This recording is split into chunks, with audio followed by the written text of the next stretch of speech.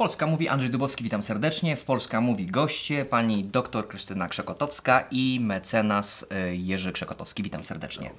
Dzień dobry. Szanowni Państwo, niejednokrotnie podejmując decyzję o zakupie mieszkania, dowiadujemy się bądź nie na początku rozmów, y, że dany, dana nieruchomość jest na gruncie, w, której jest, w którym jest użytkowanie wieczyste. Y, I teraz słyszymy od wielu lat, że ma nastąpić przekształcenie Na pełną własność. na pełną własność. Jak to wygląda? Jakie są szanse, że to wreszcie nastąpi? E, Panie redaktorze, najpierw może warto przypomnieć, skąd się wzięło to wielkie oczekiwanie i nadzieja, żeby na korzystnych zasadach następowało przekształcenie wieczystego użytkowania własność gruntu. Wzięło się to, panie redaktorze, z niewłaściwej praktyki, która właśnie zwłaszcza władze miasta Warszawy do tej pory stosowały. Mianowicie dokonywały one gwałtownej, bardzo drastycznej podwyżki opłat z tytułu wieczystego użytkowania. To koliduje z wszelkimi standardami światowymi, europejskimi dotyczącymi zakazu dokonywania gwałtownych podwyżek uprawnień, z którym wiąże się mieszkanie, z którym wiąże się dach nad głową. Ale jeśli przez ileś teraz? lat nie mieliśmy podwyżek, no to w końcu nastąpiła ta podwyżka. Właśnie, i to jest e, zaniedbanie władz, które zamiast stopniowego właśnie podwyższania, które nie rujnuje, nie niweczy bezpieczeństwa dachu nad głową dla rodziny, właśnie swoje e, zaniedbanie zrzuciły na barki mieszkańców Warszawy. I stąd to się wzięło, bo wieczyste użytkowanie jako prawo, które byłoby prawidłowo e, stosowane, funkcjonuje w wielu państwach i jest bardzo korzystne dla e, budownictwa mieszkaniowego, bo pozwala za mniejszą sumę pieniędzy pozyskać grunt, a grunt to ziemia przy budowie, prawda? Niekiedy w Warszawie, gdyby nie wieczyste użytkowanie, byłoby nieosiągalne. Jeszcze wyższe ceny, dlatego że e, prawie 50% kosztów budowy pochłania właśnie ziemia. Ale warto może, panie redaktorze, przypomnieć, jak się ludzie mogą bronić przed tymi drastycznymi podwyżkami. No przede Ja wszystkim... mam, ja mam tylko pytanie jeszcze do pana mecenasa. Panie mecenasie, ale jeśli powiedzmy jest decyzja takiej wspólnoty, ym, takiego bloku powiedzmy mieszkalnego o tym, że chcemy wykupić ten grunt na własność, czy mamy taką możliwość? No właśnie w tej sprawie warto przypomnieć, że mamy jakby trzy reżimy prawne tych przekształceń własnościowych w prawo odrębnej własności czy w prawo własności. Reżim dotyczący dotychczasowej ustawy czy aktualnie obowiązującej ustawy. Drugi reżim prawny tych przekształceń to na podstawie uchwały miasta stołecznego Warszawy. I trzeci reżim prawny to ta przewidywana nowa ustawa, o której się tyle lat mówiło i mówi, o której pan redaktor właśnie wspomniał. Jeśli chodzi Jeśli jeszcze, o te... jeże- jeżeli wolno, to właściwie można powiedzieć, że sprawę zamyka ta uchwała Rady Miasta Warszawy, bo ona daje najdalej idące y, tak zwane upusty cenowe. Za 5% wartości można przekształcić y, wieczyste użytkowanie we własność, z tym, że Ale czy to się Okazuje się- opłaca y, gminom, urzędom? y, no, y, No to by trzeba jeszcze wrócić do tych reżimów prawnych, bo ten trzeci, ostatni reżim prawny, ta projektowana ustawa przewiduje przekształcenie z mocy prawa.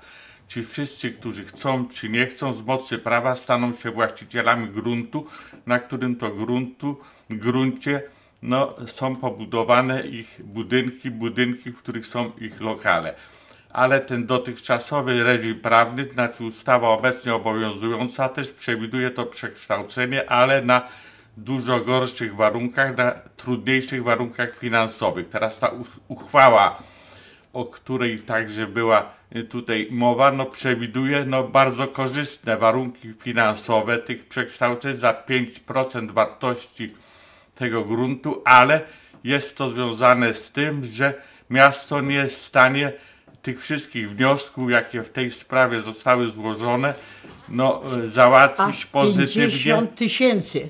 Pa, No to znaczy, że parę lat by trzeba i, było i miasto, na które jest nie, niewydolne, niewydolne właśnie miasto mówi tym mieszkańcom, że dobrze, dobrze, daliśmy wam, boście się tak upierali, prawda, i walczyli o to i na, męczyli nas tutaj w mieście, ale i tak będziemy wam to załatwiali przez 10 lat, bo tyle potrzebujemy czasu, czyli po prostu można powiedzieć takie oszukiwanie mieszkańców Warszawy.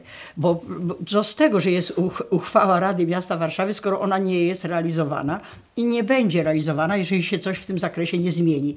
Dlatego tu jest konieczne e, uświadomienie ludziom, że to jest tylko mydlenie oczu i bez tej nowej ustawy to, to albo bez zmiany filozofii postępowania urzędników miasta Warszawy, że trzeba załatwiać sprawy szybko, bez nadmiernej zwłoki, nie tak jak się przez te wszystkie lata przyzwyczaili, prawda, odkładać na, na, na później. Przecież takie długie załatwienie nie, nie wchodzi w grę, bo każdemu z mieszkańców przysługiwałoby wtedy roszczenie, możliwość domagania się skargi na, na milczenie władzy, czyli to by ko- kolejne koszty wywo- wywołało. Pani zupełnie. doktor, czy, czy z punktu widzenia urzędu y, chętnie y, podejmie takie działania urząd, y, aby powiedzmy przekształcić dany teren na własność? No najwyraźniej e, tak to organizuje i tak to realizuje, żeby, żeby uda- udając, że coś daje, nic nie dać w sumie. No bo jeżeli obywatel ma czekać 10 lat, to, to, tylko straci zdrowie i, i, i, i nerwy, prawda, a, a I nie właściwie nic nie uzyska. tego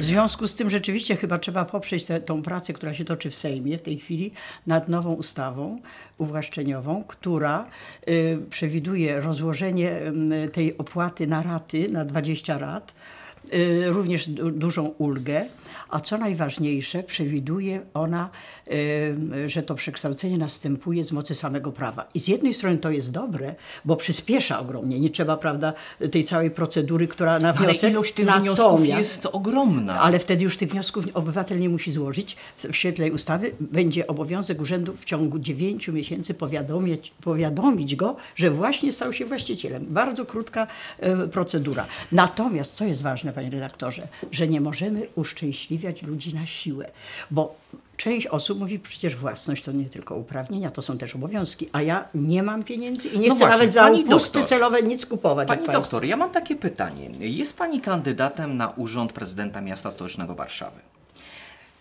Z Hipotetycznie. ramienia Światowego Kongresu Polaków, czyli Polacy za granicą również się włączą do współpracy. Hipotetycznie e, jest przekształcenie danych nieruchomości mieszkalnych bloków em, terenu na własność. Nie wszyscy są wypłacalni, nie wszyscy mają na to ochotę. Co z takim? Może to się okazać ogromnym problemem. Jak pani by z tym problemem sobie poradziła? No, nie wolno no- dopuścić do tego, że u- y, uszczęśliwiając na siłę ludzi ubogich własnością, własność zawsze musi być dostosowana do skali zamożności. Potem będziemy ich licytować za to, że nie, wy, nie dokonali odpowiednich opłat. No to byłby konie, kolejny wielki błąd. Musi, trze- trzeba by pomyśleć, aby w tej ustawie wprowadzić taki na przykład przepis, którego w tej chwili nie ma, że obywatel w określonym terminie może zrezygnować z tej że własności, czyli zachować dotychczasowy status, prawda? To by ratowało sytuację. No jedynie tak, bo każde z tych rozwiązań ma plusy i minusy. I minusem tego rozwiązania wynikające z nowej ustawy jest to, że się na siłę uszczęśliwia wszystkich i trzeba by było w projekcie tej nowej projektowanej ustawy no, zrobić ten wyłom, że obywatel mógłby zgłosić swoje no, prawo do tego, żeby pozostać na tym niezmienionym statusie tego własnościowego, czy prawa odrębnej własności. Ale generalnie trzeba zawsze jeszcze dodać coś takiego. Obojętnie jakie by nie były rozwiązania, to podstawową rzeczą będzie to, żeby urzędy, warszawskie zwłaszcza urzędy, stały się wreszcie urzędami przyjaznymi, żeby zarządzanie miastem miało charakter przyjazny. To się już realizuje w innych miastach. Ja miałam okazję przyglądać się niektórym samorządom w Olsztynie, w Katowicach, w Jarosławiu, w Rzeszowie. Tam jest znacznie bardziej y, przyjazny stosunek do organizacji pozarządowych, do inicjatyw obywatelskich. No Warszawa ma tutaj dużą lekcję do odrobienia. Nie wiem, co się stało, że Warszawa, która powinna być wzorem, przykładem do naśladowania, wprost przeciwnie. Trzeba by spowodować, żeby się uczyła od swoich kolegów samorządowych z innych miast. Panie mecenasie, a czy orientujemy się, jak jest w innych krajach e, Europy?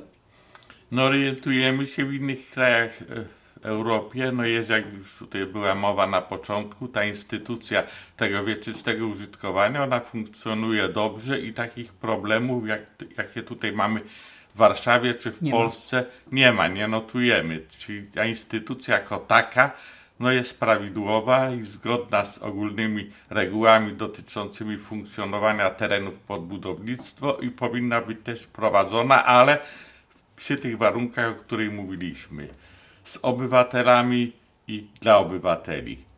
Bardzo Państwu dziękuję. Dziękuję. Moimi i Państwa gośćmi byli pani dr Krystyna Krzekotowska i pan mecenas Jerzy Krzekotowski. Dziękuję bardzo. Dziękujemy.